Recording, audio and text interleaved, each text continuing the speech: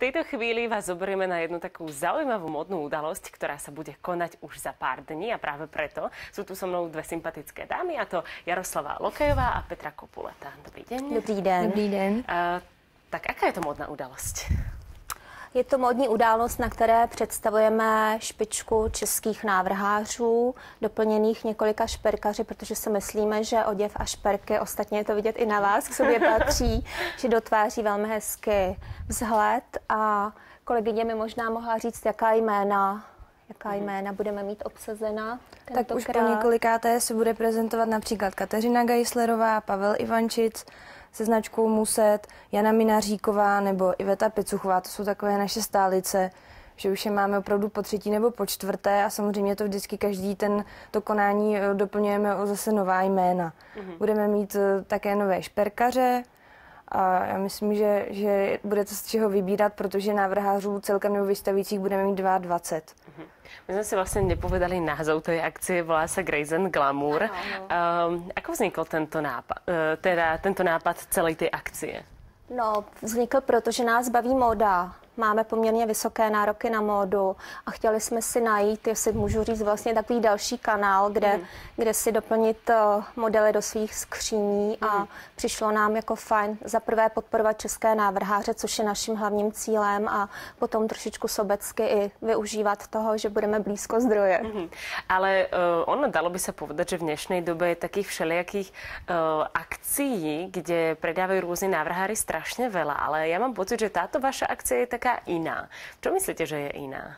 Já myslím, že je jiná v tom, eh, za prvé děláme v luxusním prostředí. Myslíme si, že to je pro vyloženě vybranou skupinu lidí, Nikdy to nebude masová akce, protože tam jsou skutečně návrháři, kteří, jak jsem říkala, jsou špičky, tomu odpovídají i ceny, protože za kvalitu se opravdu musí zaplatit.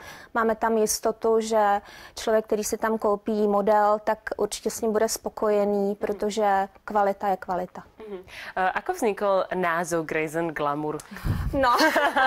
Jsem zvedavá. se tak nějak nakonec shodli. Každá jsme chtěli, každá chtěla něco jiného, slovo, tak jsme to prostě spojili. Jedna chcela, aby to bylo Grace a druhá Glamour. Um, asi tak bychom to mohli říct. A která no. hlasovala za Grace? To už nevíme. Já myslím, že já jsem byla Grace, ale tak oni ty slova spolu hodně souvisí, takže takže ten název takhle vlastně je úplně ucelený. A aký, aký je hlavný slogan, hlavné moto celé této, celé této akcie?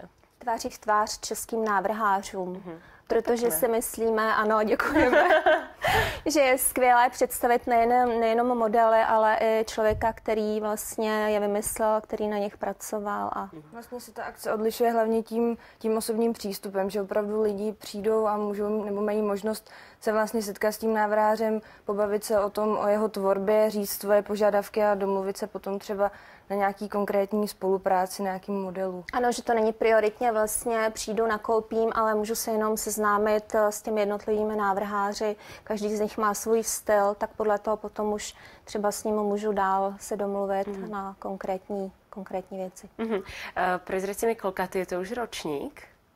Nevíme, jestli ročník, protože původně jsme měli, měli dělat akci jednou do roka, ale už při té první se ukázalo, že byla úspěšná, za, mm. za což samozřejmě jsme vděčné.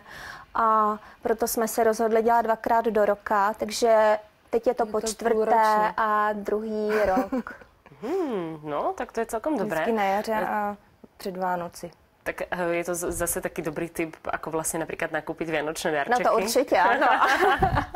Eh, vy ste teda spomínali rôznych módnych návrhárov. Podľa čoho to vyberáte? Alebo ako, asi podľa čeho to vyberáte, těch návrhárů? Tak to je otázka asi spíš na kolegyně. Podle toho, jak se nám, jak se nám líbí a většinou teď už máme trošku přehled vlastně o té modní scéně, takže už víme, jak jsou ty jejich modely kvalitní nebo to zpracování, takže teď už víme, koho oslovit. Nejdřív jsme trošku tápali, ale je to hlavně o tom, co se nám líbí mm-hmm. a co si myslíme, že se bude líbit zase dalším dalším zákaznicím. Vlastně poprvé to bylo tak, že kolegyně udělala nebo vytipovala uh, scénu návrhářskou, mm-hmm. potom mě posílala kontakty, já jsem dělala takový užší výběr a teď, jak říká Petra, tak už opravdu víme, kdo, kdo je nejlepší, koho můžeme oslovit dál a Mm. A už se nám hlavně to novými jmény. Takže tak.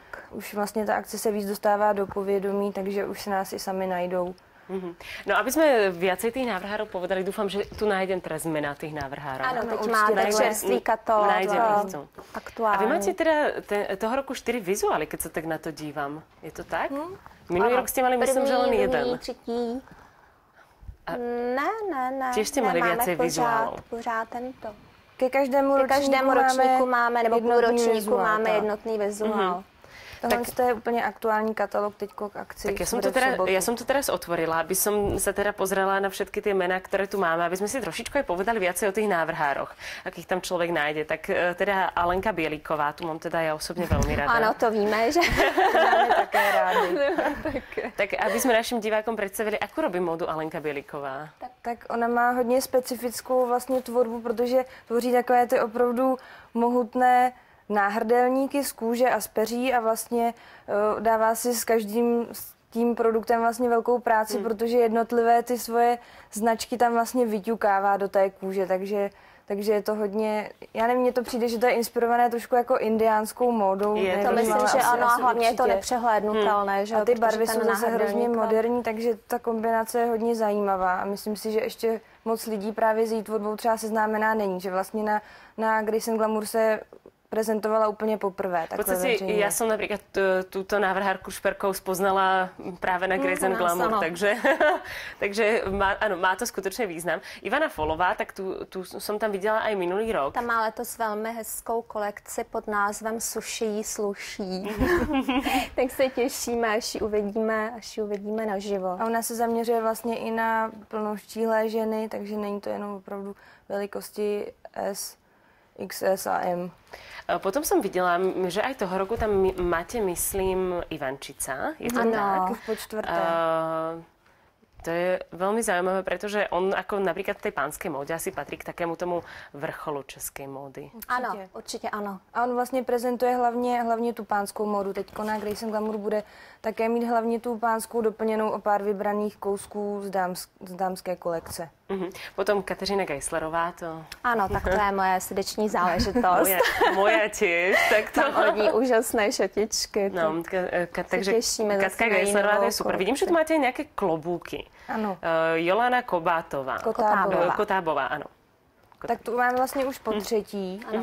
A má vždycky velký úspěch, protože dámy, co přijdou na akci, tak samozřejmě každá dáma si chce vyzkoušet, co by jí mohlo slušet, i když by je to normálně třeba nenapadlo, zajít jen tak jako někam k modisce, něco si vyzkoušet, takže tam má vždycky úplně front u, u svého Ano, tam je to vždycky obklopené spoustou dám. Má úžasné kloboučky, takové malinké, Petra ví přesně, jak se jmenují, myslím. Doufám. Myslím, že Bebe, Bibi, Bebe nebo Bibi. úplně maličkatý Asi jsem se do tohohle neměla pouštět, ale věci jsou krásný. Samozrejme, tých návrhárov je tam oveľa, oveľa viacej, ale tak, aby sme to všetko tak nejak ako zhrnuli, povedali, ako dlho to bude prebiehať, odkedy, dokedy, všetko, tak hovorte. Takže akce začíná, teda řeknu nejdřív termín 30. listopadu, teď Takže v sobotu, tuto sobotu. sobotu. Od 11 hodin do 8 hodin vlastně Mhm. bude přístupná a nevím, co mám říct dalšího důležitého. Budeme tam mít vlastně i doplňující program. Ano, to si Ah. myslím, že je nové. Že Nové, to je nové, tak mi budeme tam mít uh, takový známý kadeřnický salon, Aha. který bude na místě s pomocí diagnostické kamery.